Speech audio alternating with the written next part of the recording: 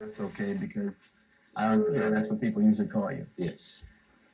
One of the more controversial positions that you take is that black Africans landed in America 2,000 years before Columbus.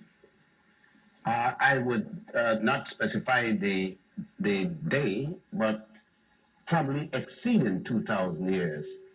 The fact is that Columbus never came to United States of America or North and South America. He came as close as San Salvador.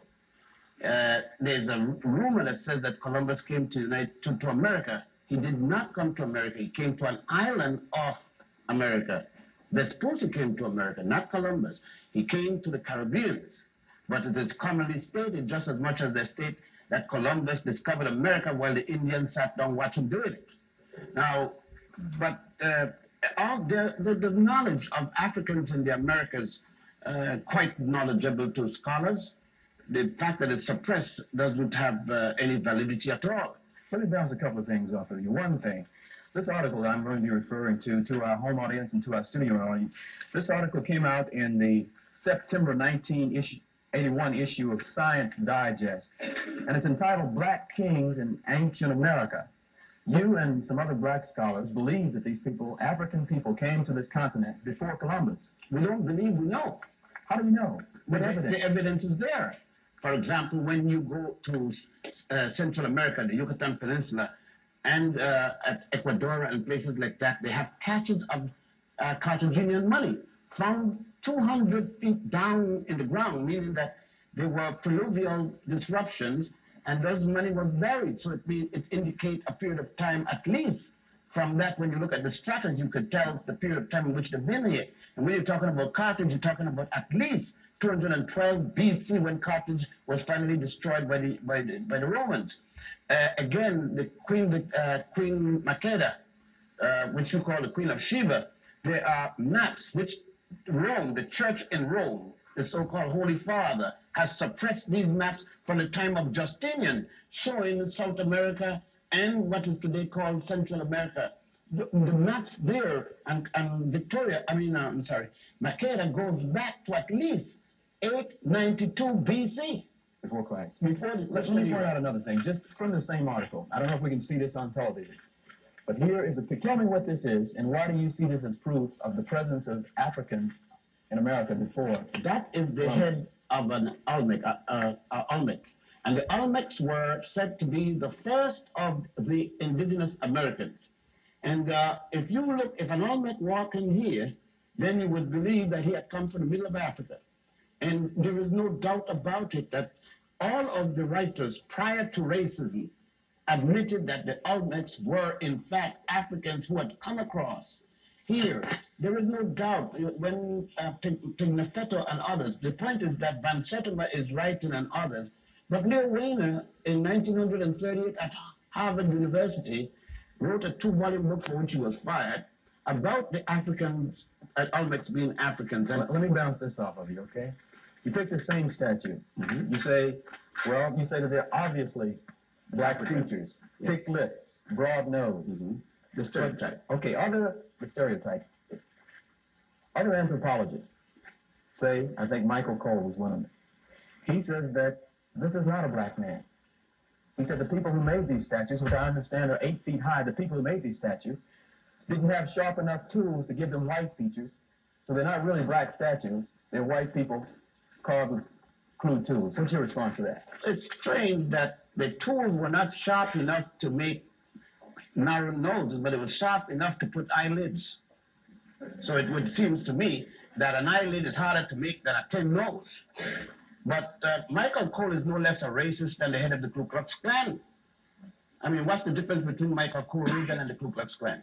It is have the same philosophy. What is the difference between the fellows writing the Bible and write about the Queen of Sheba asking, I mean, saying to Solomon, uh, look, uh, look not, ye daughters of Canaan, look not upon me because I'm black, my parents sent me in the vineyard and that's all this nonsense. She's black because nature made her black. Her mother and father were black. That's why she's black. Had nothing to do with going in the vineyard, even though it's in the Bible. Okay, you talked about religion. We're going to get to that in a while. Let me turn to Dr. Simmons.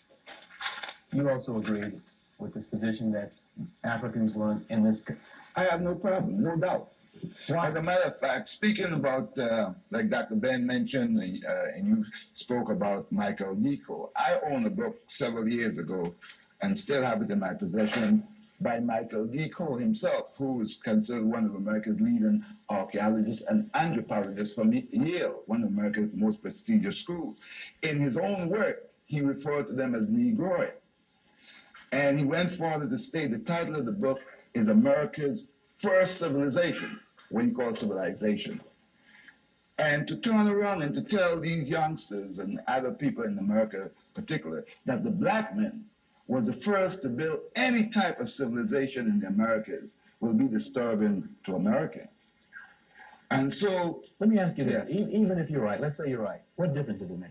it makes a lot of difference. What kind of difference? it takes the inferiority complex out of the black man who felt that his only beginning and relationship here in this part of the world is that of slavery. Then it puts him in the driver's seat because, again, they don't tell you that there are man made hills within the United States. They call them mounds. And they range from in the Midwest all the way down the eastern seacoast of the United States and they found artifacts in them that are similar to things found in West Africa and in Egypt, which is Northeast Africa, that predates the arrival of the so-called indigenous Indians to these lands. Another thing is some years ago, one of the major television network back in New York, I don't remember exactly which one, ABC or which, I did a documentary and they said that these Olmecs are the ones who brought right into the Americas about 3000 BC. To tell blacks that they ought to be glad to enter into these schools of higher learning today in order to read and write, because their ancestors back in Africa couldn't read and write. You, you see how what it will do to tell them that they brought right into the Americas? Antonio Pigafetta, that Dr. Ben mentioned, who sailed with Magellan when Magellan came to the so- so-called New World in 1519, when they landed at the land of Virgin, which we now call Brazil, they were met by people in canoes that carried as many as 40 people. And Antonio Pigafetta recorded that these people were jet black. It seemed that they came out of uh, the infernal marshes. That meant that they were burned. He said, naked and black as they are in 1519, 27 years after Columbus's arrival to the so-called New World. Another thing they don't tell you, again, you heard my associate, Why, why haven't we heard these things before? Why don't we read them in the New York Times, Birmingham News? uh, if I stole another man's country and I brought your ancestors here to work for me, could I tell you how great your ancestors were and still expect to keep you in slavery? Well, well, let me,